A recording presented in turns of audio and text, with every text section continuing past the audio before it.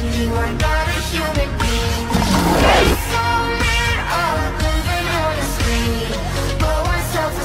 So you run on gasoline